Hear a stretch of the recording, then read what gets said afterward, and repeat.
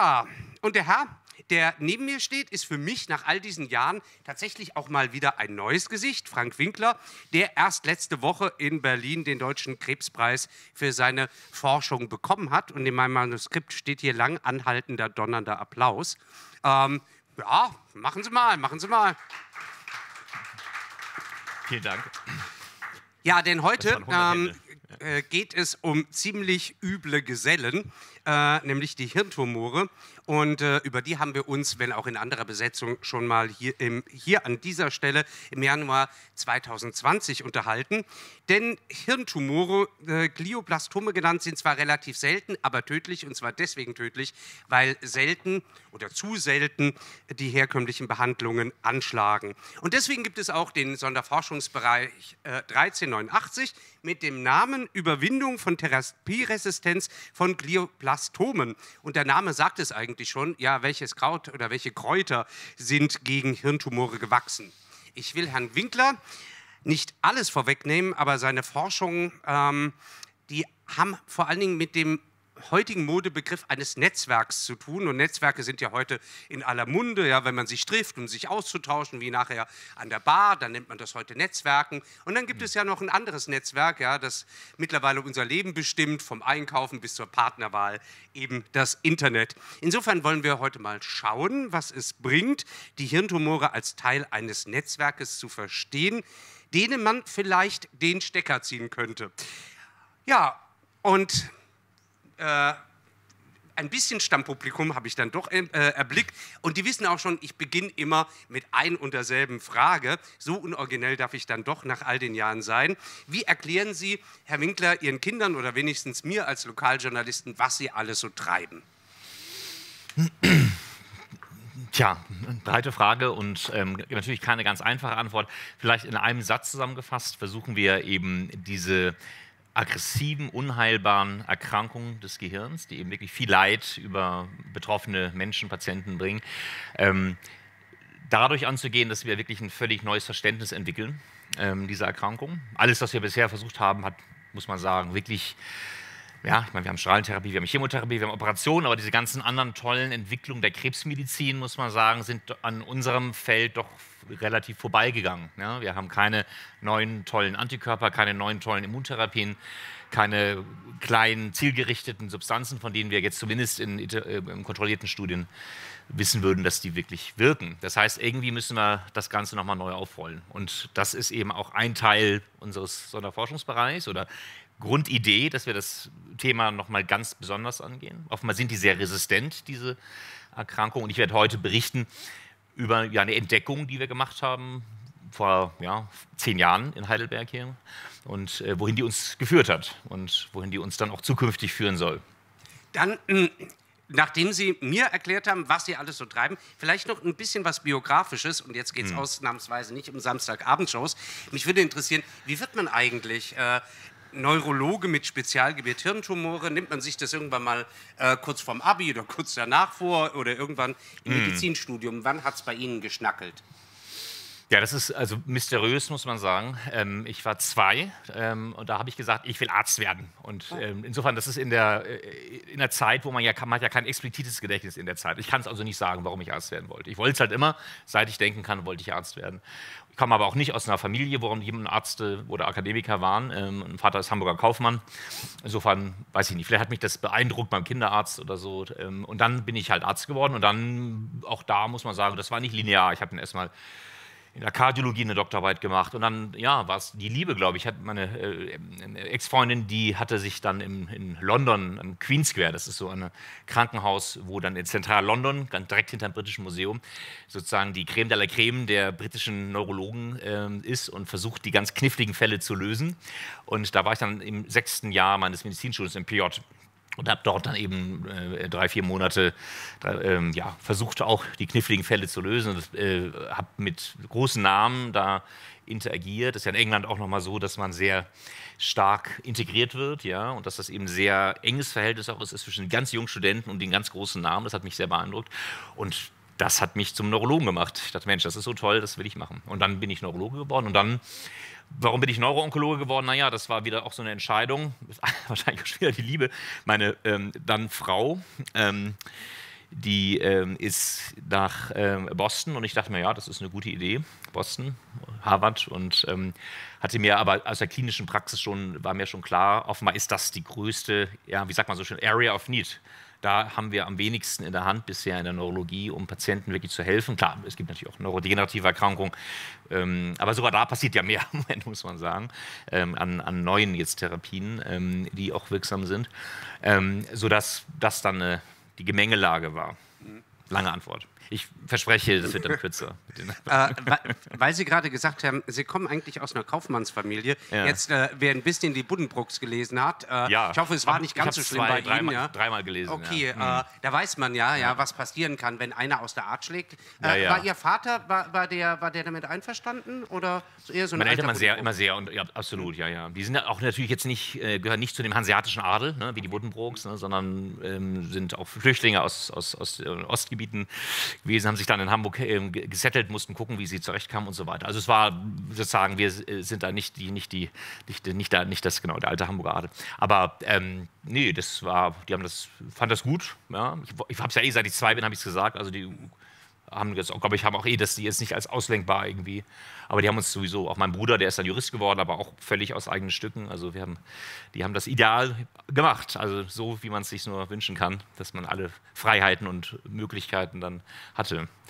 Das freut. Eine letzte Frage, bevor wir zur Präsentation kommen. Ähm, Sie haben ja ähm, äh, von Ihrer Entdeckung schon gesprochen und die Entdeckung hat ja was auch damit zu tun, dass Sie auf die Idee kamen, ähm, die Hirntumore als Teil eines Netzwerks zu sehen. Äh, ja, das. Kurze, äh, ja. kurz nur mal die Frage, ja. weil mich das auch interessiert, ja, wie ja. man zu solchen Entdeckungen kommt. War das Eingebung oder war das Forschung oder war das sogar die Erfahrung mit Netzwerken im Alltag? Wie kam es? Naja, genau. Also das ist ähm, auch eine spannende Frage, weil es ist ja so, die Wissenschaft soll ja so funktionieren, man stellt eine Hypothese auf, ja, und dann macht man seine Experimente und seine Untersuchungen und dann bestätigt man die Hypothese oder man, man falsifiziert halt. Ne? So ist das ja immer die Idee. Und dann hat man am Schluss sozusagen ist ein Stück weitergekommen. Das ist ja auch oft richtig und wichtig, das so zu machen. Es gibt aber auch manchmal Wege, wo man das ganz anders machen muss, wo man einfach mal offen schauen muss, was passiert. Ich werde das gleich auch zeigen.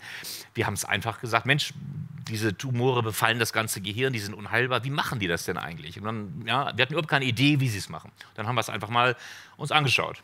Und zwar mit einer Methode, die halt erlaubt, ähm, ja, im lebenden Gehirn des Versuchstiers, der Maus, in drei Dimensionen und ganz entscheidend in der vierten Dimension der Zeit, na, weil Biologie ist ja, hat, ja, wir messen ja fast immer ein- oder zweidimensional, aber eigentlich ist es ja eine vierdimensionale und fünfdimensionale Sache. Ähm, und vor allem die Dimension der Zeit, die ist entscheidend. Und ich zeige auch gleich Videos, die das, glaube ich, illustrieren dass wir das in, und, und, so haben wir das gesehen und gesagt, Mensch, was passiert da? Das ist ja verrückt. Das sieht ja aus, als ob sich da ein Netzwerk gebildet. Das sieht ja aus wie die Entwicklung des normalen Gehirns. Wir haben es dann sozusagen als Arbeitstitel Brain in the Brain Project auch genannt sofort, als wir das sahen. Es war sofort, ja, Seeing is Believing is Understanding. Ne? So ist das. Und ähm, das ist einfach eine, und ich habe das in Harvard gelernt, habe das dann in München verfeinert, diese Methode, diese spezifischen, habe das dann in, hier in Heidelberg noch, haben wir immer, wir treiben das immer weiter. Ähm, und das ist eine ganz ausgezeichnete Methode, um Dinge zu entdecken. Und da muss man eben auch manchmal ohne Hypothese reingehen und sagen, Mensch, ich will jetzt einfach mal was entdecken. Weil wenn man immer nur Hypothesen hat ähm, und denen folgt, dann wird man viele Dinge niemals sehen oder erkennen. Wunderbar, dann würde ich sagen, wir begleiten Sie jetzt auf Ihre Entdeckertour. Ja, viel Vergnügen. Herzlichen Dank für die freundliche Einführung und für die Einladung und heute hier sein zu dürfen ähm, in der ja, illustren Runde. Und ähm, man kann auch die Ermüdungseffekte natürlich verstehen, ähm, die irgendwann kommen. Ich glaube, das war, ich, ich also ich kann es nicht anders sagen, nicht? aber es war, glaube ich, eine gute Entscheidung, heute herzukommen, weil das ähm, ganz interessante Dinge sind, über die wir sprechen und neue, neue ähm, Sicht auf Tumorerkrankungen werfen tatsächlich, ähm, wenn wir über, über ähm, ja, ähm, Überlebensstrategien sprechen, dann gibt es die ja auf verschiedenen Ebenen. Ja? Und im Labor gibt es Überlebensstrategien ja? und man muss resilient sein. Unser Motto ist im Labor, ähm, ever tried, ever failed, no matter, try again, fail again, fail better. Ne? Das ist so eine Überlebensstrategie des Wissenschaftlers. Aber es gibt eben auch Überlebensstrategien von diesen Tumorzellen und da will ich das kurz, was wir schon angerissen haben oder angesprochen haben, kurz besprechen. Das ist alles im Rahmen auch dieses SFBs natürlich, um die geht es ja auch hier in Heidelberg, ähm, wo wir in einem Projekt, das ist das Projekt A01, genau dies weiter verfolgen. Und wir kollaborieren sehr intensiv mit sehr vielen Arbeitsgruppen da in diesem SFB und muss sagen, dieser SFB ist tatsächlich also äh, äh, ja, extrem hilfreich und extrem nützlich, äh, das Ganze weiter zu, zu treiben und immer ähm, ähm, durch Kollaboration mit ganz vielen Fachrichtungen in diesem SFB. Ne? Und das ist nämlich auch wichtig, ne? dass man miteinander spricht, dass man zusammenarbeitet, dass man die Stärken jeweils nutzt und vereinigt, Synergien hebt ähm, und ähm, vieles davon ist eben auch dort entstanden. Ähm, letztlich, wie gesagt, Netzwerke ne, haben Sie schön eingeführt. Wir denken ja mittlerweile, dass alles ein Netzwerk ist. Und ähm, das hat natürlich zu tun, dass wir unser Gehirn als, das, das, ist ja das ultimative Netzwerk. Eine Nervenzelle, wenn die nicht verbunden mit anderen Nervenzellen ist, dann ist die völlig nutzlos. Und tatsächlich sterben auch alle Nervenzellen, die sich nicht verbunden haben, nach der Geburt irgendwann. Ne? Weil was soll eine Nervenzelle, wenn die nicht im Netzwerk ist? Ja? Die, wenn die autistisch vor sich hinfeuert, das bringt keinem was. Und das weiß ja auch, deswegen geht die zugrunde. Und wir haben ganz viele, großer und kleiner Ebene ist, äh, haben, reden wir über Netzwerkstörungen im Gehirn. Auch das äh, sickert so auch durch, glaube ich, in die, in die äh, ich mal, nicht, nicht Neurozähne. Ja, und wenn man mal das Internet durchsucht, ne, ist alles ist irgendwie Netzwerk, soziale Netzwerke, Beziehungen und so weiter. Ähm, also am Ende sind das ja Netzwerke, die günstig sind. Ne? Das Internet ist hochgradig resilient, hochgradig günstig, effizient. Ja, wenn wir jetzt unsere Welt als Netzwerk betrachten, technologisch, ja, soziologisch, kommunikationsmäßig, biologisch, dann ist ja die Überzeugung, Erwartung an so ein Netzwerk immer, wir haben höhere Effizienz in dem Netzwerk, ähm, es gibt eine größere Resilienz, also Widerstandsfähigkeit gegen Dinge, die nicht so schön sind und alles in allem eine Überlegenheit. Und auch das hatten Sie schon sehr schön, das haben wir nicht abgesprochen, ne? ähm, äh, äh, darauf waren Sie schon gekommen, das Internet tatsächlich, das wurde ja mit genau dieser Idee geboren mit der militärischen Zielsetzung. Man will in diesem Netzwerk eben nicht angreifbar sein, weil ähm, das Internet ist so gebaut und Netzwerk theoretisch so gebaut, dass eben einfach nur Random Damage, also einfach Schaden, der sozusagen ähm, ähm, viele ähm, Dinge, wenn es nicht die direkten Knoten sind, betrifft, einfach kompensiert werden kann. Und ähm, Interessanterweise, die Daten zeige ich heute nicht, das ist auch noch nicht publiziert, ähm, ähm, finden wir sogar diese Netzwerksysteme des Internets genau in diesen Tumornetzwerken, die ich Ihnen zeigen werde. Ähm, was nicht nur wir, sondern viele andere auch schon lange glauben oder nicht nur glauben, sondern auch äh, beschrieben haben durch jahrzehntelange Forschung auf der ganzen Welt, ist, dass Tumore eben nicht nur eine stumpfe Ansammlung von chaotischen Tumorzellen sind, die, nicht, die sich nicht an Regeln halten und einfach wachsen, sondern eben ein Organ, in dem ganz viele auch Nicht-Tumorzellen kooperieren mit den Tumorzellen, damit das Ganze funktioniert und der Tumor wachsen kann. Also Tumore sind wirklich Organe und das ist etwas, was unser Verständnis von Tumorerkrankungen in den letzten 20, 30 Jahren auch nochmal sehr stark verändert hat. Ähm, und eben dass Tumorzellen selber nervenzellähnliche Dinge machen und auch mit Nervenzellen reden. Dazu, das werde ich Ihnen dann erzählen. Das ist eben eine ganz neue Forschungsrichtung, die aus den Dingen, die wir machen und auch ein paar andere äh, machen ähm, auf der Welt. Ähm, ähm, dann sozusagen sich so ergeben hat und äh, nicht nur eben Blutgefäße, Immunzellen etc., Schützkzellen, alle möglichen Zellen, die den Tumorzellen helfen. Nein, es sind auch Nervenzellen.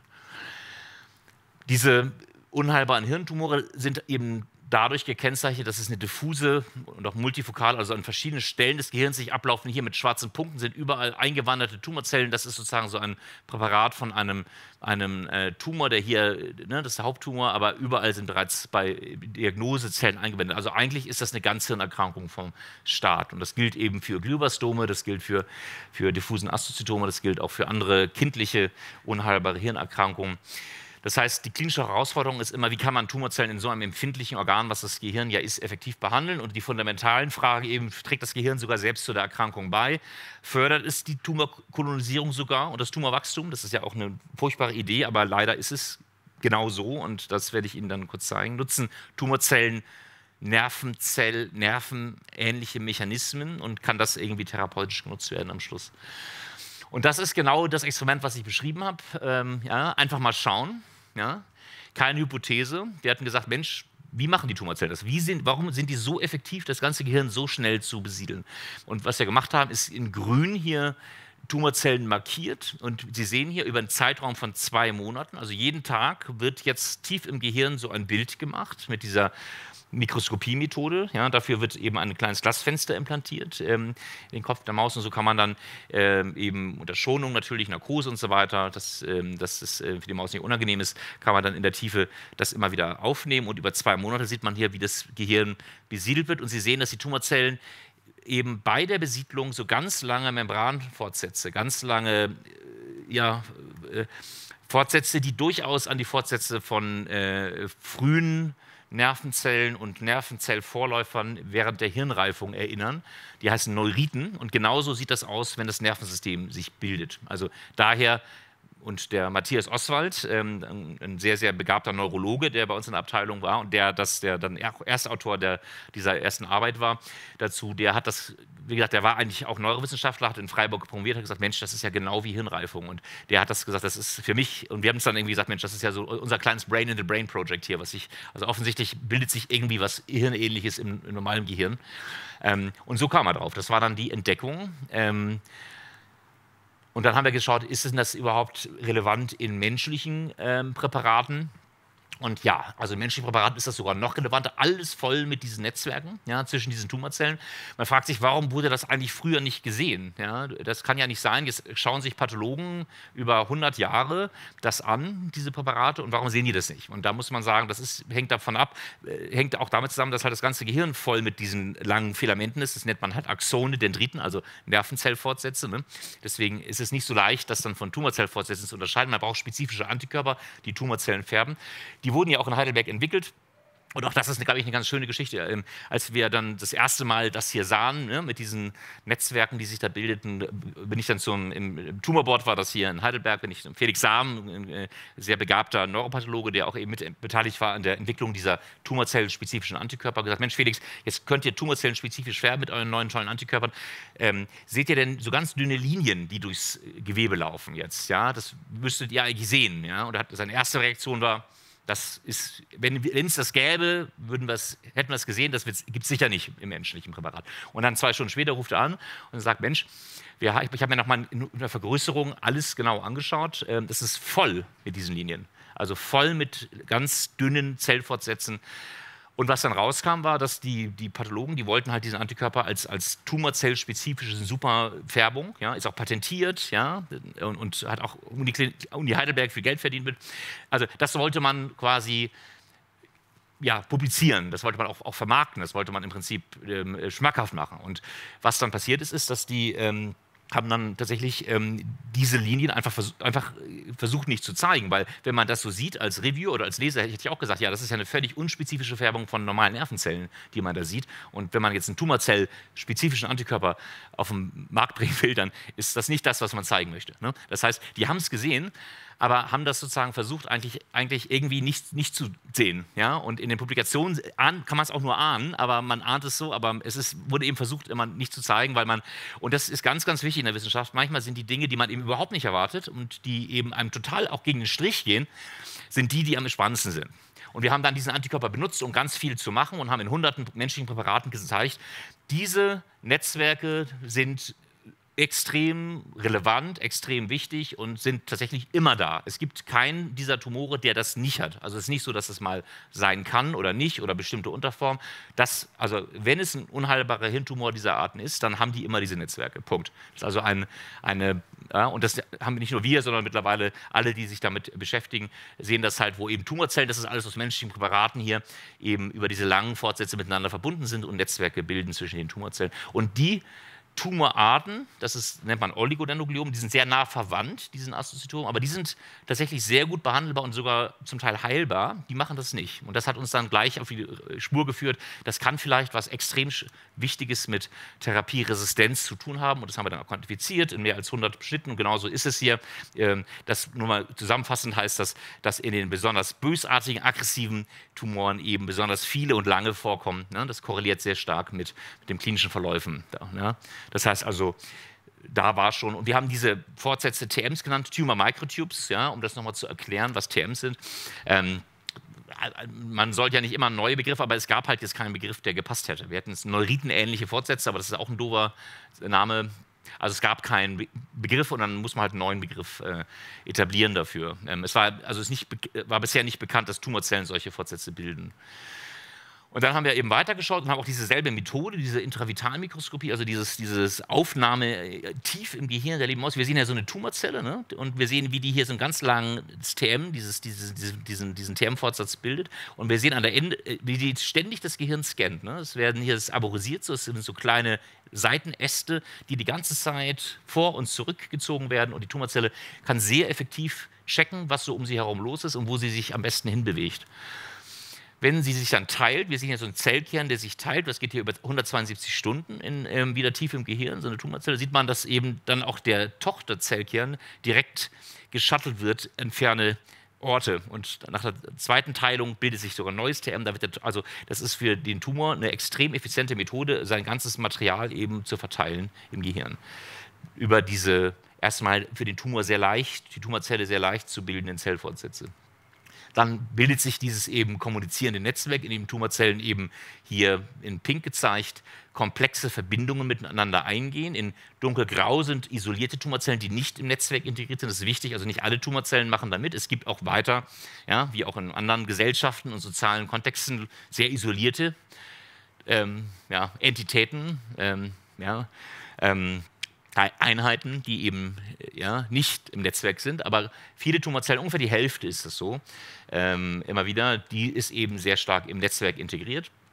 Und ähm, Ganz viele von diesen, diesen TMs schienen blind zu enden. Ja? Wie Sie sehen hier, sie sind so richtig so Fasern, ne? dass die irgendwie blind zu enden scheinen, die hier in hellgrau gezeigt. Ne? Die verbinden jetzt nicht die Tumorzelle mit einer anderen Tumorzelle. Aber die haben, machen eben ganz andere wichtige Verbindungen zu anderen Zellen im Gehirn. Dazu komme ich dann noch am Schluss zu sprechen.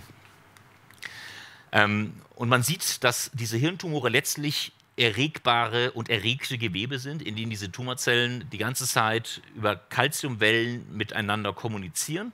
Das machen auch andere Gewebe im menschlichen ähm, äh, Organ. Das ist eine Möglichkeit, wie sozusagen Gewebe die Zellen in einem Gewebe äh, miteinander ja, kommunizieren, sich auch abstimmen können und eben dann ein sinnvolles Ganzes bilden, einen sinnvollen Organismus bilden. Und das machen die Tumorzellen genauso. Man sieht hier ein ganz komplexes Kommunikationsmuster. Ja, teilweise laufen die Wellen über den ganzen Tumor. Man sieht auch hier in der Invasionszone, wo nur so ein paar vereinzelte Tumorzellen sind, auch die nehmen noch teil. Das heißt, im Prinzip ist dieser ganze diffuse, versprengte Hirntumor so ein kommunizierendes Organ, in dem eben diese Tumorzellen ähm, und dazwischen sind überall noch normale Hirnzellen, ne, die auch ihren Job machen und die, ähm, die, und das wissen wir von Patienten auch sehr gut, dass das, dass das eben so ist, ne, dass das sich sehr, sehr sehr, sehr diffus ähm, vermengt miteinander. Und ähm, hier sehen wir aber jetzt nur die Tumorzellen angefärbt und wir sehen eben, wie die miteinander reden hier die ganze Zeit. Und wir sind jetzt dabei, und das habe ich jetzt nicht mitgebracht, weil das auch noch nicht publiziert ist, ähm, das zu dekodieren, ja, also zu, zu verstehen, was reden die miteinander, also wie und was reden sie miteinander und was bedeutet das. Und da kommen jetzt sehr, sehr spannende Dinge raus. Und das ist ein bisschen ein Spoiler natürlich dann für, ähm, beziehungsweise ein Teaser kein Spoiler, ein Teaser vielleicht dann für die Zukunft nochmal, wenn ich nochmal dazu reden sollte. Das kann ich Ihnen aber beim nächsten Mal sagen, wenn es dann hoffentlich bald angenommen ist. Ähm, man sieht es hier nochmal, ne, auch solche Kommunikationsmuster, so ganz rhythmische, teilweise auch, hierarchisch erscheinende Kommunikationsmuster. Also so ein Tumor ist irgendwie weniger eine Demokratie als doch eine relativ üble Diktatur, wo so ein ganz paar die Hosen anhaben und die anderen treiben. Dazu will ich aber auch nicht zu viel sagen, weil das eben auch Gegenstand dieser, dieser gerade laufenden Untersuchung noch ist. Ja? Also ein, ein hierarchisches, autokratisches System, in dem ein paar Tumorzellen dem Rest klar diktieren, was los ist. Und die Tumorzellen, die nicht verbunden sind, die haben ganz viele Kalziumfluktuationen, aber die zeigen keine klaren Kommunikationsmuster. Das sind wirklich diese Tumorzellen, wo wirklich so rhythmische Kommunikation dann passiert. Ähm, und da ist sicher noch viel zu verstehen und auch diese Muster sind so komplex, dass wir auch sicher erst an den, oder Oberfläche kratzen und immer weiter uns in diese Kommunikationswelt begeben des Tumors. Und dann kann man fragen, warum kommuniziert man? Naja, ähm, auch Kommunikation führt ja zu einer Funktionalität und zu einer Resilienz. Ne? Wenn man nicht kommuniziert, wird man sehr schnell sehr depressiv und, äh, und viele Sachen laufen gar nicht mehr gut im Leben. Und das ist beim Tumor auch so.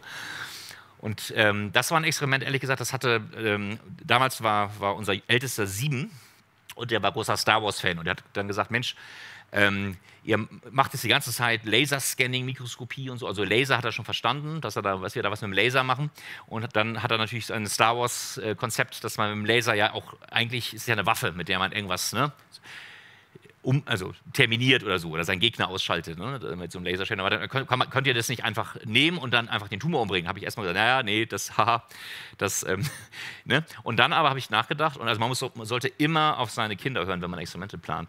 Und gedacht, Mensch, das ist eigentlich eine super Idee. Und das haben wir dann gemacht und haben gesagt, jetzt nehmen wir doch einfach mal diese Tumorzelle aufs Korn und bring die mal um, indem wir die so viel scannen, dass die einfach stirbt. Ne? 2000 Mal übergescannt mit dem Laser, dann ist die sozusagen, der Zellkern ist ja, ist ja noch so ein Fragment zu sehen. Und dann haben wir gesagt, jetzt gucken wir mal, wie reagiert denn das Netzwerk darauf? Und witzigerweise, na, also das war erstmal erwartet, ne? also es ist eher so ein Kümmerernetzwerk, in dem dann die anderen Tumorzellen nicht, nicht weglaufen, ja? wenn sie merken, dass da irgendwas Un Un Unheilvolles geschehen ist, sondern die, die kümmern sich, ne? die strecken ihre, ne? wie so eine vielleicht ideale, ideale Europäische Union, wo man sich dann wirklich um so ein arm, armes Land, was geschaukelt kümmert und erstmal guckt, Mensch, wie kann ich helfen, was ist los? Aber dann sind es eben nicht diese Zellen, sondern es ist eine Zelle, die mit diesen Zellen verbunden ist. Äh, über, in 3D sieht man das ganz gut, über verschiedene Netzwerkknotenpunkte, so Hubs, also nicht direkt, ganz, ganz indirekt und sehr komplex verbunden. Und die teilt sich dann. Und nach zwölf Stunden ist dann hier unten, das sieht man schlecht, hier unten ist der Mutterzellkern und hier oben ist der Tochterzellkern. Und es hat sich bereits wieder ein neues TM, dieser Zellfortsatz, ausgebildet, der genau in die Richtung zeigt, wo jetzt der, der tote Freund beerdigt wird. Nach 24 Stunden geht dieser lange Fortsatz genau dahin, wo eben der tote Freund jetzt immer noch tot ist. Und dieser, dieser Zellkern ist hier mittlerweile, ähm, wartet quasi am Eingang hier. Und dann ist er nach 40 Stunden hier runtergewandert und ist jetzt genau an der Stelle, wo eben der, die tote Zelle war. Und nach 60 Stunden hat sich diese Tumorzelle jetzt hier wieder mit allen anderen Zellen verbunden. Also das ist total verrückt. Das ist ja überhaupt nicht das, was man glaubt, dass ein Tumor ist, dass also ein Tumor offenbar fähig ist zu einer Erkenntnis seiner eigenen Integrität und Erkenntnis seiner eigenen Gesundheit oder seiner eigenen, seiner eigenen ja, ähm, Struktur und dann aber auch fähig ist, eine ganz gerichtete und hochkomplexe Selbstreparatur auszufüllen. Also das ist, man muss das so interpretieren. Wir haben dann, also als der Matthias Oswald das erstmal gemacht hatte und, ähm, ähm und er fand das ja auch gut, also ja, ich habe ihm auch erst später gesagt, dass die Idee vom Siebenjährigen kam, aber er, ähm, das hat ja offenbar, hat das eben zu hochinteressanten Dingen geführt. Und dann habe ich gesagt, Mensch Matthias, das, aber das ist verrückt, das ist, das haben wir dann, das müssen wir x-mal wiederholen. Nicht? Das, in der Wissenschaft muss man Sachen wiederholen, damit man dann dran glaubt. Das kann ja immer auch mal Zufall sein. Und das war hoch reproduzierbar. Und wir haben dann als Kontrolle haben gesagt, gut, aber das, das ist so verrückt, das werden auch die Reviewer und die Leser nicht glauben, wir müssen es irgendwie kontrollieren. Dann haben wir noch Zellen umgebracht, die nicht im Netzwerk verbunden sind, hier so eine oder so eine. Und da war das dann ganz selten, dass das passiert. Das heißt also offenbar eine Netzwerkfunktion, Erkenntnis der eigenen Integrität, Erkenntnis des eigenen Selbst. Nun schießen wir in der Klinik ja nicht mit Laserstrahlen, also das ist sozusagen vielleicht der nächste Schritt, aber das äh, ist schwierig. Ähm, wir machen ja was anderes, wir machen zum Beispiel Strahlentherapie ne, ähm, gegen diese Tumore und da ist es dann tatsächlich so, dass diese nicht verbundenen, isolierten Tumorzellen hier mit diesem Stern bezeichnet, ähm, wenn man bestrahlt, dann gehen die zugrunde und zwar in großen Mengen und die vernetzten Tumorzellen ja, hier, die bleiben sehr gesund und munter und äh, sterben nicht. Und ähm, sodass das offensichtlich ein ganz wichtiger Mechanismus ist, diese Vernetzung, um resistent gegen die negativen Effekte der Strahlentherapie zu sein für diese Tumorzellen. Und es ist sogar noch schlimmer, wenn man sozusagen dann ähm, äh, mal schaut, die nehmen sogar zu. Das heißt, bestrahlte Regionen, das heißt, die Tumorzellen reagieren auf die, sie merken, irgendwas ist nicht gut, ja, Strahlentherapie ist erfolgt, dann wird, wird sogar ähm, das Netzwerk noch dichter und stärker. Und sie kommunizieren auch deutlich mehr nach der Strahlentherapie. Also das ist auch adaptiv, also als Reaktion auf diese Strahlentherapie, ja, so wie man, wenn man, ja, äh, ja es gibt ja wahrscheinlich kaum weniger Anrufe, die man macht, als nach einem schrecklichen Lebensereignis. Und ähm, genauso ist das hier in diesen Tumornetzwerken, die eben anfangen, plötzlich extrem miteinander zu reden und extrem miteinander zu kommunizieren. Und das ist kompliziert, das, ist, das zeigt im Prinzip dieses Experiment, dass äh, was da passiert ist, dass die Tumorzellen äh, zu einer Homöostase, also einer, einer ähm, ja, einem Puffern auch fähig sind, von kurzfristigen Erhöhungen und Erniedrigungen von Kalziumwerten und dadurch im Prinzip resilient werden. Das heißt, so eine Tumorzelle im Netzwerk kann eben kurzfristige Probleme mit Kalzium, die dann ganz schnell in den Zelltod führen, Apoptose führen, ähm, abpuffern. Ja? Auch das ist eine Netzwerkfunktion, die plausibel ist. Ne? Das kann einfach dann sozusagen, wir, wissen, wir kennen das auch relativ gut von Astrozyten im Gehirn, diesen Stützzellen, die den Nervenzellen helfen, die machen das auch, ähm, weil die auch miteinander verbunden sind. Die haben auch ein Netzwerk miteinander, sehr ähnlich wie diese Tumornetzwerke. Und das äh, Ganze scheint genauso vom Tumor genutzt zu werden. Das müssen Sie nicht alles lesen. Das soll nur heißen, dass äh, wir haben viele Experimente gemacht und gesagt, wie machen die denn das? Also was sind die molekularen Wege, Mechanismen, um diese TMs und dann diese Netzwerke zu bilden, die durch diese TMs dann im Prinzip durch die Verbindung, die von den TMs zwischen Zelle und Zelle gemacht werden. Und da wird tatsächlich ein, ja, ähm, ein bekanntes, ein ganz wichtiges Molekül genutzt, was ganz wichtig ist für diese Nervenzell- ähm, Prozessaussprossung, Neuriten heißt das, Aussprossung. Ähm, und ähm, das ist dann so wie an der Spitze von Neuriten, dass sich das dann konzentriert hier, diese, diese, dieses Protein, was das macht. Also genauso sehen eigentlich auch Neuriten aus von normalen Nervenzellen, wo sich dieses, das nennt sich neuronal, also neuronales wachstumsassoziiertes Protein 43. Das heißt also, dass ähm, das ähm, konzentriert sich hier an der Spitze dieser, dieser TMs, dieser Tumor Microtubes und genauso ist es auch bei Neuriten ähm, während der Hirn, Hirnentwicklung. Und wenn man das jetzt ausschaltet, genetisch noch in diesen Gliomzellen, dann, und die dann bestrahlt, dann kann man die relativ hohe Strahlenresistenz dieser Tumore brechen. Dann können Tumore, die, wenn man sie nur bestrahlt, nicht so toll ansprechen, eben plötzlich sehr stark ansprechen auf Strahlentherapie und man kriegt diese Tumorzellen wirklich raus aus dem Gehirn. Und das ist, muss man sagen, das sind ja jetzt gute Modelle der Erkrankung. Ähm, es gibt viele schlechte Modelle, mit denen man arbeiten kann in der medizinischen Forschung. Das ist natürlich, ja, und wir haben Jahrzehnte auch mit schlechten Modellen gearbeitet. Das sind jetzt sehr, sehr gute Modelle, wo eben Patienten, Tumorzellen von Patienten dann relativ schnell in Maus gebracht werden und dann eben solche ganz diffusen, sehr, sehr nah die menschliche Krankheit reflektierenden Modelle entstehen. Und ähm, da ist es wirklich schwierig, sowas zu erreichen, muss man sagen. Ähm, Schlechte Modelle, da kriegt man immer tolle Effekte, ähm, lässt sich toll publizieren, aber diese wirklich guten Modelle, die sprechen auf ganz wenig an. Und, ähm, und das ist schon, war schon ein sehr bemerkenswertes äh, Ergebnis daher, was uns eben gezeigt hat, dass offenbar, wenn man die Netzwerke stört, dann kann man eben diese Tumore plötzlich sehr empfindlich gegenüber Strahlentherapie ähm, bekommen. Und ähm, kann das brechen, die Resistenz sodass die Zusammenfassung ist hier nochmal auf dieser Folie, also die, diese langen Fortsätze, diese TMs werden für die Invasion genutzt, auch für die Disseminierung im Gehirn, Proliferation sogar. Also wenn man das hemmt, dann teilen die sich auch nicht mehr so richtig, weil die können dann ihre Zellkerne nicht mehr so richtig verschiffen dann die Verbindung, Zwischenverbindung und dann bildet sich dieses Netzwerk, was eben sehr, ähm, diese, das ist kein offenes, man nennt das Syncytium, also kein, keine Situation, wo die Tumorzellen einfach völlig frei äh, äh, einen, einen offenen Schlauch haben, mit denen sie verbunden sind. Da ist so ein bestimmtes Molekül, das nennt sich Connexin 43, das ist ein anderes, hat nichts mit GAP 43 zu tun, das ist so ein, so ein, so ein Kanalmolekül, was, was bestimmte Dinge durchlässt, aber relativ viel durchlässt. Jetzt keine Riesenmoleküle, also auch keine, äh, keine Zellkerne, also es können keine Zellkerne zwischen den Zellen jetzt ausgetauscht werden, äh, zwischen individuellen Zellen, aber viele Moleküle, auch Calcium und, und alle möglichen Messenger, auch alle möglichen kleinen RNA-Stückchen und so, die können da durchwandern und werden auch ausgetauscht in dem Netzwerk zwischen den Tumorzellen. Und das tritt sicher ähm, äh, eben, das sind alles Mechanismen, wie es zu dieser Resilienz kommen, äh, kommt. Und ähm, die Haupttreiber ist eben dieses GAP43 und eben auch noch ein anderes Molekül. Und ähm, letztlich erklärt das ähm, ganz gut, warum eben diese Tumore, die das verloren haben, diese Oligodendrogliomen, die guten, warum die so viel besser ansprechen, weil die nämlich so aussehen und eben nicht so, das können die nicht, ja? die bleiben eben als runde isolierte Tumorzelle und die ähm, assoziären Gliome, die unheilbaren, die können das halt und dann passiert das. Ähm,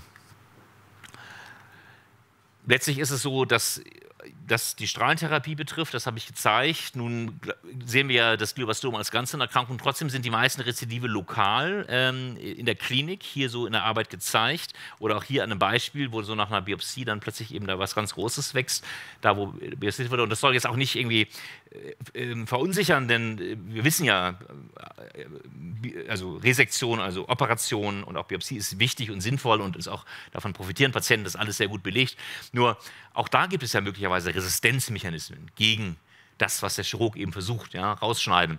Und tatsächlich ist das so. Ja, wenn man jetzt hier diese Netz, dieses Netzwerk, in diesem Netzwerk einfach was entfernt, dann sieht man, wie dann so eine ganz überschießende Heilung passiert. Wir haben ja gerade diese Selbstheilung gesehen und hier passiert das sogar in, in wirklich überschießender Weise. Das ist natürlich hier ein Lokalrezidiv, was aber offenbar durch die Operation selber angeregt wird. Wenn man dann dieses ähm, GAP43 hemmt, dann sieht man, dass man das auch äh, äh, ähm, wieder eben nicht nur die Strahlentherapie, hatten wir gesehen, effizienter kriegt, sondern dass man diesen Selbstheilung auch verhindern kann, weitgehend verhindern kann.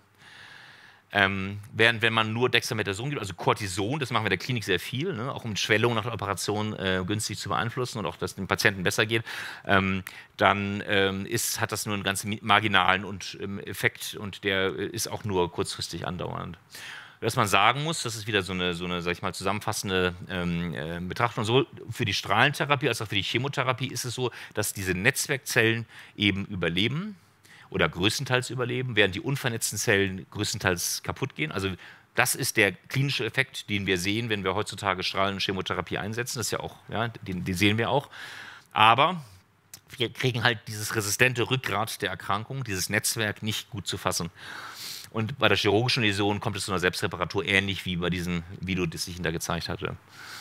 Ähm, und ähm, ja, sodass man sagen muss, das ist also, sind gute Gründe, das anzugreifen und versuchen irgendwie damit umzugehen. Ähm, und es wird noch schlimmer oder noch, muss man sagen, irritierender. Und das ist auch was, was man jetzt mit betroffenen Patienten auch nur sehr, sage ich mal, vorsichtig besprechen muss. Denn das sind keine Dinge, die man natürlich gerne jetzt hat, aber auch das hat uns zu ganz neuen Erkenntnissen geführt. Deswegen ist es, glaube ich, wichtig, darüber zu sprechen. Ähm, normale Nervenzellen im Gehirn, ja, die ja nun, das ist ja nun unser Gehirn, ist voll mit normalen Nervenzellen, deswegen macht es die Funktion, die es macht. Die verbinden sich mit Synapsen, mit diesen Tumorzellen und zwar vor allen Dingen diesen TMs, diesen, diesen, diesen äh, Membranfortsätzen der Tumorzellen. Und das sind völlig normale Synapsen, wie sie auch Nervenzellen miteinander bilden. Das sind erregende Synapsen, also Glutamat ist das, das ist so das eines der äh, erregende Botenstoffe, Neurotransmitter nennen wir das. Ähm, und das nennt sich AMPA-Rezeptor, das ist also so ein Rezeptor für dieses Glutamat und ähm, das ist aber eine spezielle Form des AMPA-Rezeptors, den wir beim Erwachsenen gar nicht so sehen oder ganz nur in ganz, ganz ähm, wenigen Hirnregionen überhaupt noch sehen, die was mit Langzeitgedächtnis zu tun haben. Ähm, ist vor allen Dingen in der Entwicklung und bei kleinen Kindern noch ähm, sind die, ist das stärker. Und die Tumorzelle hat also diesen speziellen Rezeptor, aber im Prinzip ist das, ist das ein ganz normales Signalweg, wo die Synapsen dazu führen, dass eben Nervenzellerregung, was ja ständig passiert, das ist ja das Denken, ja, also Denken kommt durch Erregung von Nervenzellen und Kommunikation von Nervenzellen. Das führt dazu, dass eben ständig unfreiwillig die Tumorzellen miterregt werden. Und dadurch entstehen Kalziumwellen. Also ein Teil der Kalziumwellen, die ich Ihnen gezeigt habe, kommt durch einen direkten Neurongliom synaptische Erregung. Und ähm, das führt zum Wachstum und Invasion dieser Tumore. Das ist erstmal, wenn man das so sieht, verrückt. Und ähm, wir waren auch froh, dass wir nicht die Einzigen waren, die das 2019 in Nature publiziert haben, sondern eine Arbeitsgruppe in Stanford. Gruppe von der Michelle Mongi, eine ganz, ganz tolle Wissenschaftlerin und eine Freundin, muss man auch sagen, die, die ich sehr schätze. Ähm, die ähm, auch, muss man, also eine der wahrscheinlich äh, ja, äh, erfolgreichsten Wissenschaftlerinnen der Welt im Moment ist. Ähm, die hat das auch entdeckt. Wir haben das früh entdeckt, dass wir es gemeinsam entdeckt haben. Und man kann dann in der Wissenschaft, äh, also man kann dann sozusagen versuchen, den anderen zu übervorteilen oder nicht, oder, oder na, über, nicht übervorteilen, nicht, aber schneller zu sein, übertrumpfen, ja, ähm, als erster ins Ziel zu laufen. Oder man macht so, dass man sich abstimmt. Und wir haben dann gesagt, Mensch, lass uns das doch gemeinsam machen. Und wir haben uns dann immer alle paar Monate haben wir dann so Videoschalten gemacht und dann hat sie das für ihre ganzen kindlichen, ja, äh, unheilbaren Hirntumore und wir haben das eben für die Erwachsenen unheilbaren. Das war schon mal so die erste Trennung, ja, weil sie, sie ist auch eine Kinderärztin und Kinder, Hirntumorexpertin. Und äh, wir haben das eben dann für die Erwachsenen gemacht. Und, äh, so, ähm, und sie hat auch noch ein paar andere Methoden gemacht. Ähm, und wir haben uns aber auch ja, durchaus inspiriert, oder glaube ich, ne, und haben so ein paar Sachen auch ähnlich gemacht. Und dann haben wir es eben Rücken an Rücken, nennt man das. Also man, man schickt dann was gleichzeitig zu einem äh, gerade großen Journal und sagt, Mensch, guck mal hier, wir haben dasselbe gefunden äh, und so weiter. Ähm, und dann werden eben beide gleichzeitig im selben äh, Ausgabe publiziert. Und das ist, weil wenn Sie in die ganz großen Journale gucken, gibt ja viele verrückte Geschichten, muss man sagen. Und nur ein Teil davon ist wahr. Ne? Und das weiß auch jeder. Ja, und nur ein Teil lässt sich reproduzieren. Und das ist natürlich dann schon viel besser, wenn man eine wirklich verrückte Geschichte hat, dass man dann ähm, zumindest sieht, das scheint offenbar zumindest auf beiden Seiten des Atlantiks so zu funktionieren und es scheint offenbar ähm, so, so, robust zu sein, dass das nicht nur mit irgendwelchen, ja, mit viel, mit viel Drehen an den Daten, sondern eben auch tatsächlich einfach ein sehr robustes ähm, sehr robuste Eigenschaft dieser Tumore. Und so ist das eben. Und ähm, das war insofern eine starke Erfahrung. Also es war natürlich sehr, wir waren sehr froh, dass wir das äh, am Schluss alles so erfolgreich geklappt hat. Aber es war auch eine starke Erfahrung in der Wissenschaft, dass man eben wirklich durch eine, durch eine sehr synergistische nützliche, durch ja jetzt vielleicht gutartige Netzwerke dann eben den, den bösartigen Netzwerken was entgegensetzt. Ne? Oder wie immer sagen, ja, man sollte nicht dümmer als der Tumor sein. Ja? Wir müssen gutartige Netzwerke dem entgegensetzen, diesen bösartigen Netzwerken. Und das war eine tolle Erfahrung. Und das geht auch weiter mit der, mit der also das ist wirklich super. Und auch, muss man sagen, dieses ganze, ganze Umfeld in Stanford, ähm, da sind ja viele Leute, die verrückte Sachen machen und verrückte Ideen haben. Das ist schon auch, das passt ganz gut zu dem, was hier auch sehr, also wir haben eine immer engere Kollaboration und auch gerade die Neuroonkologie, also die Hirntumorforschung, wir haben jetzt sehr enge Zusammenarbeit mit Stanford, aber auch mit Harvard und versuchen so ein bisschen so ein Dreier- ja, so eine, ähm, sind auch jetzt wieder in Harvard in, ähm, Ende des Jahres ähm, da, wo wir immer so einen ganz regelmäßigen Austausch werden, auch gemeinsame Seminare jetzt starten. Also das ist schon auch sehr nützlich und sehr hilfreich, ähm, gemeinsam da am selben Strang zu ziehen in vielen Bereichen. Und das Feld ist groß genug, es gibt genug für alle am Ende zu rauszufinden und zu publizieren. Und die Frage ist jetzt, wie kann man jetzt diskonnektieren, wie kann man jetzt sozusagen diesen, äh, diese Tumorzellen aus diesen Netzwerken bringen? Ähm, oder wie, wie, wie mein, unser, unser, Partner in der äh, Biotech-Firma, mit der wir da auch kollaborieren, sagt, ähm, in typischen britisch-englischen Art, disconnect the bastards. Also wie man diese Bastards ähm, ähm diskonnektiert, also entkoppelt. Und da gibt es verschiedene Ideen. Hm, man kann also, äh, man kann sogar so ein trojanisches Pferd sich überlegen, dass man das irgendwie nutzt, die Netzwerke, um irgendwie Sachen da reinzubringen, die schlecht sind. Aber man kann natürlich vor allen Dingen die Kanäle hemmen, man kann die Aussprossen hemmen, man kann alle möglichen Dinge sich überlegen. Äh, man kann diese Neurongliom-Synapsen hemmen, von denen ich erzählt habe, wo die Tumorzelle eben immer der Receiver ist und eben ständig von Nervenzellen erregt wird und dadurch eben das Tumorwachstum angetrieben wird. Das kann man sich alles überlegen. Das haben wir uns natürlich überlegt. Wir haben uns jetzt tatsächlich auf drei Sachen jetzt erstmal konzentriert. Ähm, und da haben wir zum Beispiel mit einer Substanz, das ist ein Antiepileptikum, was genau diese bösartigen Synapsen auch hemmt, weil es hat also diese Eigenschaft. Und das haben wir und auch Michel Mongi hat das gezeigt, dass das auch dann das Tumorwachstum stark hemmt. Ähm, in diesen Modellen, die seit 2019 arbeiten. Ähm, das wollen wir jetzt mit vielen Zentren in Deutschland eben in so einem, in so einem äh, ja, um die, um, die, um die Rezidiv, also die Operation, wenn so ein Glioblastom wiederkommt, dann wird das oft nochmal operiert und dann wollen wir darum diese Substanz geben und damit auch diese bösartige Selbstheilung vermindern oder verhindern, weil wir auch glauben, dass da auch Neurogliomsynapsen eine Rolle spielen. Und ähm, da hoffen wir, dass wir vom BMBF dann bald hoffentlich das Geld dafür bekommen, dass wir das starten können und da eben Patienten behandeln können. Das Perampanel ist interessant, ähm, weil das eben ein Antiepileptikum ist, was ich auch sehr gerne meinen Patienten gebe, die, die ähm, unter einer sehr hartnäckigen Epilepsie bei Hirntumoren leiden. Also viele Patienten bekommen epileptische Anfälle und da gibt es einen Teil, der wirklich nicht gut anspricht auf die üblichen Antiepileptika.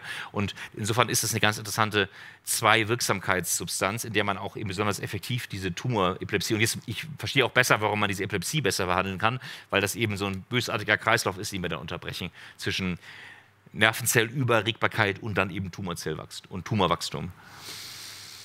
Es gibt eine Studie, da sind die ersten beiden Patienten jetzt sogar schon rekrutiert. Das ist jetzt, wird jetzt von Bonner Kollegen geleitet, die auch ja, begeistert von den Netzwerken waren, dann auch publiziert haben dazu und auch gezeigt haben, dass wenn man dann sozusagen diese Gap Junctions, halt diese Konnektivität hemmt mit Substanzen, die diese Gap Junction verstopfen, also diese Kommunikationskanäle verstopfen, und da ist eine Substanz, Miklofinamat heißt das, das ist ein in USA zugelassenes ähm, Magengeschwürmedikament, ähm, wirkt aus irgendwelchen Gründen gegen Magengeschwüre auch. Und das, das soll eben auch Patienten jetzt im, im wiederkehrenden Glioblastom gegeben werden, um zu sehen, ob das eben was bringt. Und wir entwickeln mit einer Biotech-Startup-Firma in Cambridge in England eben neue Substanzen, die eben gegen diese ja, ähm, Moleküle gerichtet sind, die halt in der Nervenzelle, Nervensystementwicklung eine Rolle spielen. Da war natürlich bisher noch keine Pharmafirma irgendwie interessiert. Warum sollte man dagegen Substanzen entwickeln? Das ist ja auch ja, verrückt. Aber deswegen muss man jetzt ganz neu das angehen und wirklich auch das mit. Und auch da ist es so, man muss es halt auch selber machen. Ne? Die große Pharma die finden das witzig und interessant, aber die äh, haben natürlich eine ganz andere Denke und ganz andere Pipelines und ganz andere Interessen und haben ganz andere Tumorerkrankungen, die viel häufiger sind, die sie viel mehr interessieren. Das heißt, man muss das schon auch selbst in die Hand nehmen. Und das haben wir jetzt in die Hand genommen. Das sieht auch gut aus, interessant aus. Wir haben erste sogenannte Lead Compounds, also Substanzen, die sehr interessant aussehen, wo wir Wirksamkeiten sehen, auch bei Tieren. Und jetzt müssen wir mal schauen, dass wir damit weiterkommen. Und da wollen wir natürlich irgendwann auch in die, in die Klinik damit gehen. Also, und das ist dann schon das Ende, schlussfolgernd. Also, offensichtlich werden Signalwege der Entstehung des Nervensystems gehijackt, ja, missbraucht von diesen Tumorzellen, um eben durch die Ausbildung dieser langen Fortsätze ein funktionales, resistentes, multizelluläres Netzwerk zu bilden. Das ermöglicht Kommunikation, Invasion, Resistenz, Resilienz für den Tumor, also alles, was er so braucht. Also, offensichtlich muss man sagen, Tumore sind Organe, ja, aber das ist eben nicht nur Kooperation mit, mit, mit den gutartigen Zellen unseres, unseres, äh, unseres Körpers, sondern eben Tumorzellen selbst können sich zu komplexen organähnlichen Strukturen organisieren. Und die Hemmung kann halt dazu beitragen, die, äh, das Wachstum und auch die Resistenz von diesen Hirntumoren zu verringern. Und auch das habe ich Ihnen erzählt, dass letztlich Glioblastomzellen unseren Nervenzellen ständig zuhören durch diese Neuron-Tumorsynapsen, die sich eben stark ausbilden, leider, ähm, die von Tumorzellen selber eben angeregt werden oder die, deren Bildung von der, der Tumor äh, selber stimuliert. Und dann wird diese Information intensiv verarbeitet, die Tumore werden erregt und das gibt dann den relevanten Wachstumsstimulus. Ähm, Störung dieser vielschichtigen Netzwerkkommunikation hat sicherlich das Potenzial, ähm, Hirntumore am Wachstum weiter zu hindern und möglicherweise aber auch die Hirnfunktionsstörungen, die wir bei vielen Patienten sehen, dann auch zu verbessern. Also äh, interessante Ideen, nicht nur vielleicht Lebenszeit, sondern auch Lebensqualitätsgewinn dann für, für Patienten. Also Hirne als Netzwerke, Hirntumore als Netzwerke, ähm, so sieht es aus. Jetzt muss man diese Netzwerke von denen trennen. Bisher alles, was wir äh, in diese Richtung versucht haben, weil das eben doch ganz andere Prinzipien sind und sehr viel mehr mit, mit, mit frühkindlicher und eben sogar auch vorgeburtlicher Entwicklung des Nervensystems zu tun hat, scheint das zu funktionieren, dass man das doch so hemmen kann, dass diese guten Netzwerke nicht gestört werden. Das ist ja entscheidend. Und auch da muss man sagen, um das Ganze vielleicht nochmal sozusagen auf, eine, auf, eine, auf einer gewissen Metaebene nochmal zu betrachten, ist ja die Frage, ob unser Gehirn das einzige ja, vielzellige, multizelluläre System ist, was clever und resistent ist oder ob das auch anders sein kann. Und da gibt es eben auch höchstrangige Publikationen ja, von so einer Gruppe von verrückten japanischen Wissenschaftlern, ja, also, ähm, die eben sich das mal überlegt haben. Es gibt so eine, so eine Einzeller, das ist so eine Amöbe. Und die kann sich, wenn die sozusagen Stress hat, also wenn, die Hunger, wenn das keinen Nährstoff gibt, wenn es allen möglichen, wenn es extrem heiß wird, also wenn die richtig Stress haben, dann machen die das auch. Dann verbinden die sich zu solchen Netzwerken. Ne? Das sieht schon ziemlich ähnlich aus wie die Tumorzellnetzwerke. Ja? Und die können aber auch eben dann als Einzelzelle leben und überleben, aber die machen dann diese diese Netzwerke, wenn es halt irgendwie unangenehm wird. Und die haben die quasi gezwungen, in diese Netzwerke zu machen. Und dann haben sie mal gesagt, Mensch, jetzt gucken wir mal, wie so ein Netzwerk, Amöben-Netzwerk hier durch so ein Labyrinth findet. Und tatsächlich war es so, dass das Netzwerk es geschafft hat, ganz sinnvolle äh, Labyrinth-Löseaufgaben zu meistern. Und wenn man, dann, wenn man dann das genommen hat und geschüttelt hat und die Einzelzellen dann wieder alle auseinander waren und die haben sich dann wieder verbunden, dann haben, haben die sich das sogar gemerkt, wie sie schnell aus dem Labyrinth rauskamen.